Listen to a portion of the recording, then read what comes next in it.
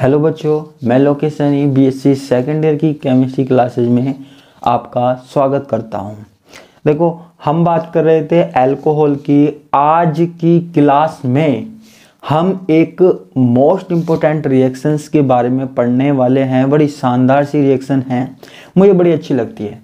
देखो, इस रिएक्शन का नाम क्या है? पिनेकोल, पिनेकोलोन पुनर्विन्यास। क्या? पिनेकोल पिनेकोलोन पुनर्विन्यास। इसके बारे में हमको आज डिस्कस करना है। ठीक है? तो अब सबसे पहले हमको ये बात करनी है कि पिनेकोल और पिनेकोलोन होते क्या हैं? उसके बाद हमको आगे की बात करनी है। ठीक है? तो सबसे पहले हम देखते हैं कि ये पिनेकोल होता क्या है। देखो, ध्यान से देखना, हमारे पास दो कार्बन है। क्या है? दो कार्बन है। क्लियर है? अब दोनों कार्बन कैसे हैं? दोनों कार्बन थ्री डिग्री है। तृतीय कार्बन परमाणु है। जैसे मान लो ये भी थ्री डिग्री है। C S three C S three ठीक है? और ये भी थ्री डिग्री है। थ्री डिग्री का मतलब आप समझते हो ना? थ्री डिग्री का मतलब है कि एक कार्बन पर तीन कार्बन समूह जुड़े हुए हो। ठीक है? एक कार्बन पर तीन कार्बन समूह जुड़े हुए हों उसको हम बोलते हैं थ्री डिग्री कार्बन परमाणु। ठीक है? तो यहाँ पे इससे देखो इस वाले कार्बन से कितने कार्बन जुड़े हुए हैं? एक दो और ये तीन। ठीक है? तो ये थ्री डिग्री हो गया। और इस वाले कार्बन से कितने कार्बन जुड़े हुए हैं? एक दो तीन। तो ये भी हमारे पास क्या हो गया? थ्री डिग्री हो गया। तो दो कार्बन हैं अगल बगल वाले। ठीक है? दो कार्बन है अल, आ, आसपास वाले या हम बोल सकते हैं अगल बगल वाले। ठीक है, जो क्या है थ्री डिग्री है। और जिनके ऊपर क्या जुड़ा हुआ है ओ एच ओ एच ठीक है, क्या जुड़ा हुआ है ओ एच ओ एच ठीक है तो इसको ही हमने क्या नाम दिया है पिनेकोल क्या नाम दिया है बच्चों पिनेकोल इसका नाम क्या होता है पिनेकोल ठीक है अब हमको क्या करना है? अब हमको कोई एसिड लेना है, ठीक है? अब हमको क्या लेना है? कोई एसिड लेना है, H प्लस आयन लेना है, ठीक है? जैसे आप H2SO4 ले सकते हो यहाँ पर। तो H प्लस आयनों की उपस्थिति में जब हम क्रिया कराते हैं तो जरा ध्यान से देखिएगा, जरा चेक कीजिएगा, क्या बनता है हमारे पास? देखो, यहाँ पे देखिएगा C S three C C C S three देखो, यहाँ पे होता क्या है कि देखो, यहाँ पे होता क्या है? ये ओ OH और ये ओ OH ठीक है? ये ओ OH और ये ओ OH यहाँ से क्या निकल जाता है? एच टू ओ बाहर निकल जाता है, पानी बाहर आ जाता है, ठीक है? इसमें से पानी बाहर निकल जाता है और जो एक कार्बन होता है, एक कार्बन पे डबल बॉन्ड ऑक्सीजन आ जाता है। ठीक है? एक कार्बन पर डबल बॉन्ड ऑक्सीजन आ जाता है। क्लियर है? और फिर आगे क्या होता है? फिर आगे क्या होता है? दूसरे कार्बन पर एक सी एस थ्री है। ठीक है? देखो, दूसरे कार्बन पर क्या है? एक सी एस थ्री है, जो ऊपर सी एस थ्री है, उसको मैं नीचे बना देता हूँ। ठीक है? और इस वाले कार्बन पे जो सी एस थ्री थे ना, वो भी इस पे ट्रांसफ़र हो जाता है। ठीक है? जरा ध्यान से समझने की कोशिश कीजिएगा। यहाँ पर हुआ क्या? देखो, यहाँ पे, देखो बैलेंस हो गई ये, जितने कार्बन यहाँ हैं, उतने ही वहाँ हैं, जितने ऑक्सीजन यहाँ है, उतने ही वहाँ हैं। पूरा बैलेंस है, ठीक है? लेकिन यहाँ पर हुआ क्या है? ध्यान से देखिएगा। यहाँ पे हुआ क्या है? इस ओ OH और इस ओ OH में से क्या निकल गया हमारे पास? H2O बाहर निकल गया। आप ये देख सकते हो, ये एच ये O OH H two O बाहर निकल गया। हमारे पास क्या बचा? ऑक्सीजन। तो मैंने कार्बन के साथ डबल बॉन्ड के रूप में जोड़ दिया। क्या? ऑक्सीजन जोड़ दिया। ठीक है? उसके बाद हुआ क्या? इस कार्बन पर, इस कार्बन पर कुछ नहीं था। इस कार्बन पर एक सी एस थ्री जुड़ा हुआ है पहले से। ठीक है? और एक सी एस थ्री यहाँ से ट्रांसफ़र इस पर हो गया। इस वाले कार्बन से इस वाले कार्बन पर स्थापित हो गया।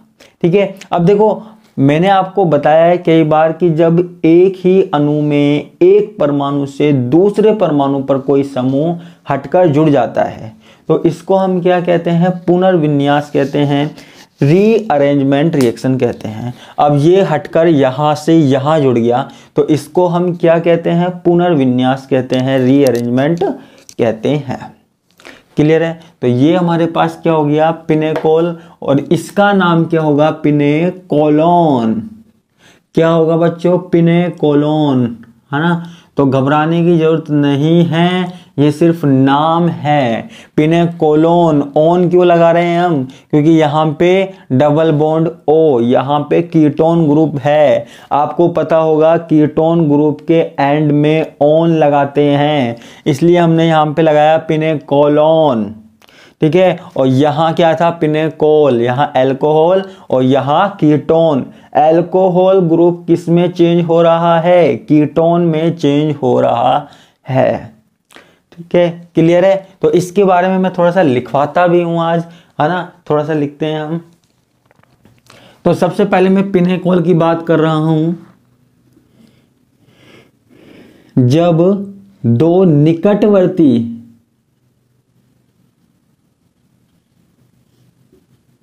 तृतीय कार्बन परमाणु पर। तृतीयक कार्बन परमाणु पर। देखो, निकटवर्ती दो कार्बन है, दोनों के दोनों क्या है थ्री डिग्री जब दो निकटवर्ती तृतीय कार्बन परमाणु पर दो ओ एस समूह जुड़े हुए हो, समूह जुड़े हुए हो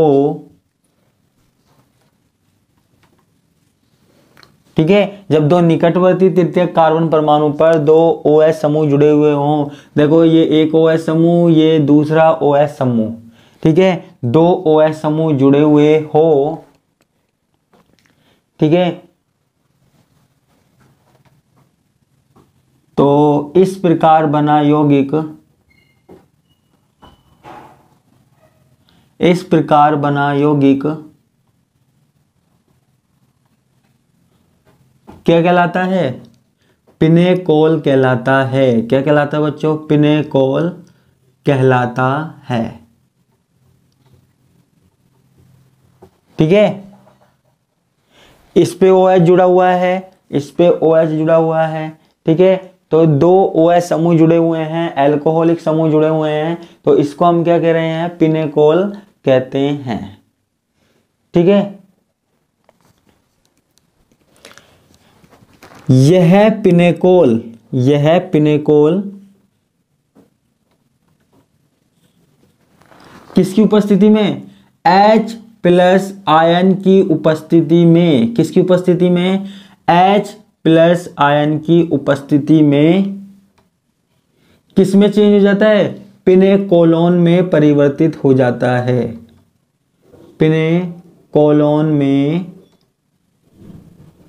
परिवर्तित हो जाता है।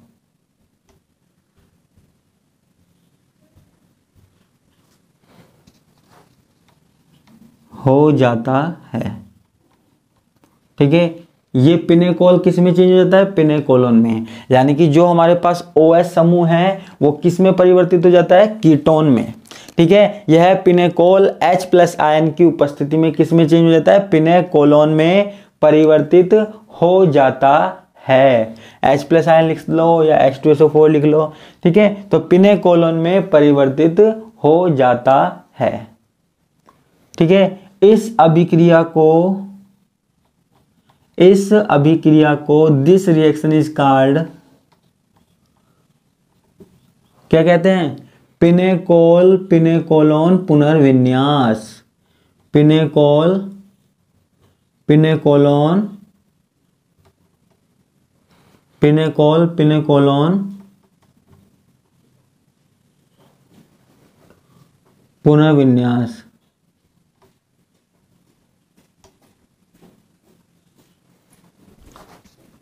कहते हैं।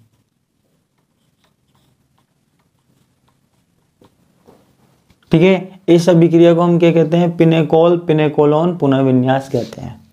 ठीक है? पिनेकोल पिनेकोल रीअरेंजमेंट ठीक है? यहाँ पे केवल क्या हो रहा है? एक सी एस थ्री ग्रुप कहाँ ट्रांसफ़र हो रहा है? यहाँ ट्रांसफ़र हो रहा है और जल का अणु बाहर निकल रहा है। ठीक है? तो ये हमारे पास कौन सी रिएक्शन हुई? पिनेकोल पिनेकोलोन पुनर्विन्यास हुई। क्लियर है? अब देखो, ये रिएक्शन होती कैसे है? वो बात हमको यहाँ पर करनी है, इसकी मैकेनिज्म देखनी है, ठीक है? तो ये आपके क्लियर हो गया होगा पिनेकोल और पिनेकोलन क्या होता है?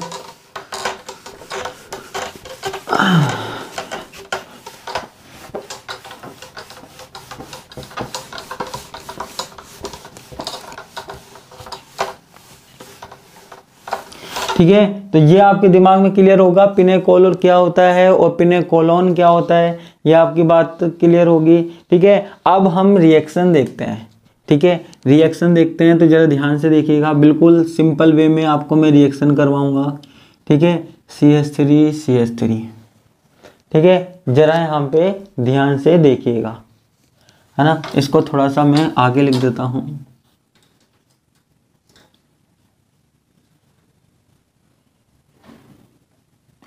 ये हमारे पास कौन है? ये हमारे पास है पिनेकोल भाई साहब। ठीक है? पिनेकोल भाई साहब। अब देखो, होता क्या है? सबसे पहले हम जब H2SO4 लेते हैं तो H2SO4 का जो H प्लस आयन है, वो कहाँ अटैक करता है?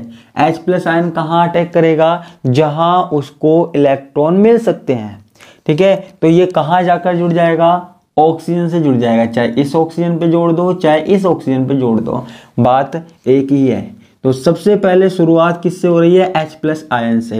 ये बेचारा पिनेकोल तो शांत बैठा था, इसको तो कोई प्रॉब्लम नहीं थी, लेकिन गड़बड़ कब हुई? जब H प्लस आयन यहाँ पर घुस गया। ठीक है? जब H प्लस आयन घुसेगा तो यहाँ प्रॉब्लम होगी। ठीक है? तो अब जब H प्लस आयन घुसा तो देखिए क्या हुआ। तो जरा यहाँ पे ध्यान से देखिएगा। जैसे ही हमारे पास H प्लस आयन घुसा, चाहे आप इस पे जोड़ दो, चाहे आप इस पे जोड़ दो, एक ही बात है। ठीक है? तो ये हमारे पास क्या हो जाएगा? ओ एच टू ठीक है? ओ एच ठीक है? तो ये हमारे पास क्या हो जाएगा? H प्लस आयन जुड़ा तो ये हो जाएगा ओ एच एच यानी कि ओ एच टू प्लस ठीक है? अब देखो, यहाँ पे ऑक्सीजन के ऊपर क्या आ गया? प्लस चार्ज आ गया। ठीक है? ऑक्सीजन के ऊपर क्या आ गया? प्लस चार्ज आ गया और ये प्लस चार्ज ज़्यादा देर तक नहीं रह सकता। ये जो प्लस चार्ज है ना, वो ज़्यादा देर तक नहीं टिक सकता। तो ये प्लस चार्ज क्या होगा? प्लस चार्ज ज़्यादा देर तक नहीं टिक सकता तो यहाँ क्या होगा? ऑक्सीजन इस वाले कार्बन के साथ जो इलेक्ट्रॉन है, उसको अपने पास ले लेगा और क्या करेगा? बाहर निकल जाएगा। किसके रूप में बाहर निकल जाएगा? H2O के रूप में बाहर निकल जाएगा। ठीक है? H2O के रूप में बाहर निकल जाएगा। क्लियर है? तो एच H2O के रूप में बाहर निकल गया। तो हमारे पास सिंपल सी बात है, क्या बचा? C S three C C S three C C S three ठीक है? सी एस थ्री और यहाँ जरा आप देखिए, जब यहाँ से एच टू ओ बाहर निकल गया तो यहाँ पे क्या बचा? प्लस बचा। क्या बचा? प्लस चार्ज बचा। ठीक है? बचा नहीं बचा? यहाँ पे बचा प्लस है ना? तो ये हमारे पास क्या बन गया? कार्बोकेटाइन बन गया। जब हमारे पास H2O बाहर निकल गया H2O में ऑक्सीजन अपने इलेक्ट्रॉन लेकर बाहर निकल गया। ठीक है? तो कार्बन पर कौन सा चार्ज बचा? कार्बन पर बचा प्लस चार्ज ठीक है? तो ये हमारे पास क्या बन गया? कार्बोकेटाइन क्या बन गया बच्चों? कार्बोकेटाइन बन गया। ठीक है? अब जरा आगे ध्यान से देखना। ठीक है? ये हमारे पास क्या बना? कार्बोकेटाइन बना। अब आगे होता क्या है? जरा ध्यान से देखिए। C S three C O H C C S three देखो, यहाँ पे मैं आपको क्लियर कर देना चाहता हूँ। देखो, इसका वाला जो सी एस थ्री है, वो मैं नीचे बना दूँ तो कोई प्रॉब्लम थोड़ी है? बना दिया, है ना? अब देखो, यहाँ पे जो एक सी एस थ्री है ना, जो इसका वाला सी एस थ्री है, वो इस वाले कार्बन के साथ तो बॉन्ड है इसका। वो इस वाले कार्बन के साथ और बॉन्ड बना लेता है। ठीक है? इस तरीके से ऐसी चक्रीय संरचना बना लेता है। यहाँ पे सब पे पॉजिटिव चार्ज होता है। ठीक है? ये वाला जो कार्बन है, अपना पॉजिटिव चार्ज हटाने के लिए इस कार्बन के सी के साथ बॉन्ड बना लेता है। देखो कंफ्यूज मत होना, ये वाला जो सी एस थ्री है, इस कार्बन वाला, वो मैंने नीचे लिख दिया, ठीक है? और इस कार्बन का जो सी एस थ्री है, वो इसके साथ बॉन्ड बना रहा है। देखो, ये वाला सी एस थ्री इसके साथ बॉन्ड बना रहा है, ठीक है? तो दोनों कार्बन परमाणु के साथ क्या कर रहा है? बॉन्ड बना रहा है, ठीक है? ये एक सेतु जैसी संरचना बन रही है है ना? क्या बन रही है? सेतु जैसी संरचना बन रही है। क्लियर है? अब देखो, आगे होता क्या है? जरा ध्यान से देखना। ये जो CH3 है, ये जो CH3 है, उस वाले कार्बन पर ट्रांसफ़र हो जाता है। कितनी खतरनाक बात हो गई है ना। इसको छोड़कर वहाँ चला गया। ठीक है? तो ये CH3 इस वाले कार्बन को छोड़कर वहाँ ट्रांसफ़र हो गया। ठीक है? पूरी तरीके से। और इसके ऊपर CH3 और यहाँ क्या है? ओ OH अब देखो CH3 वहाँ गया, उसके पास गया तो यहाँ कार्बन पर क्या होगा? ठीक है, जरा ध्यान से देखिएगा। कार्बन पर प्लस चार्ज रह जाएगा। इस वाले कार्बन पर प्लस चार्ज आ जाएगा। ठीक है, लेकिन ये कार्बन क्या करता है अपने प्लस चार्ज को हटाने के लिए? ये ऑक्सीजन के साथ डबल बॉन्ड बना लेता है। ठीक है, जैसे ही कार्बन पर प्लस चार्ज आया, ये कार्बन ऑक्सीजन के साथ डबल बॉन्ड बना लेता है। ठीक है? तो ये अपने ऊपर प्लस चार्ज नहीं आने देता। आ, लेकिन ऑक्सीजन के ऊपर प्लस चार्ज आ जाता है। ऑक्सीजन ने क्या किया है? तीन बॉन्ड बना लिए। जरा चेक कीजिए ऑक्सीजन के बॉन्ड एक दो और तीन। ठीक है? तीन बॉन्ड बना लिए हैं।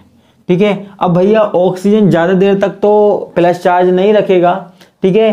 कहीं ना कहीं से इलेक्ट्रॉन लेने की कोशिश करेगा।